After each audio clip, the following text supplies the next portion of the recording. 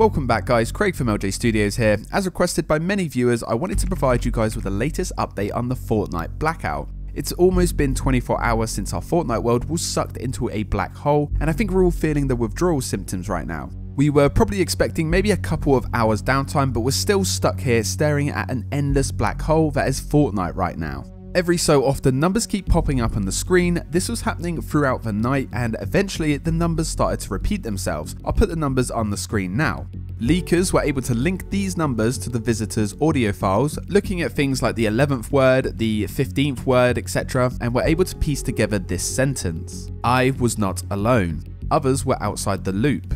This was not calculated then nothing is now inevitable. Now, it doesn't really give us any hints as to when the servers may be back online, but it is an interesting little hidden message that Fortnite are laying out for us. There are a ton of theories out there, some saying that the numbers need to repeat 12 times before the servers come back online due to the positioning of the numbers around the black hole, but who really knows? And you can tell we're all desperate and eager to get back online as we're all looking for the tiniest little indication of when the server will come back online. I said yesterday about Donald Mustard hiding up in the Eiffel Tower, but Mr. Savage retweeted 404 Rocky's tweet yesterday saying, Donald Mustard's latest tweet is about the Eiffel Tower. If you Google black hole duration, it tells you that if an Eiffel Tower turned into a black hole, it would evaporate in a day. Does this mean that Fortnite could be back around the 24 hour mark? I know it's a bit of a stretch, but Donald's always put subliminal messages about the game update on his Twitter, so it could just be the biggest hint of them all. China actually experienced the event later than us, it was at 1pm UK time today. Nothing was different, it was exactly the same event, but there were a lot of theories on Twitter about China having to see the event first before servers came back online.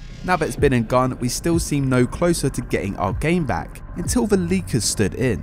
According to ShiinaBR Fortnite leaks, there's a rumour going around that the official release date for Chapter 2 is at 4.05pm EST. The exact time was found in the source code on the Fortnite Chinese website. Does this mean we'll be getting the game back today? Or is Lucas7yoshi the leaker with the answers? He found some config text in the game files that points to the end store ending on Thursday at 4am EST. I can't really see Epic making us wait that long, but you never know. I'm sure Epic employees watch leakers closely and they could have put that in the files to throw us off our game.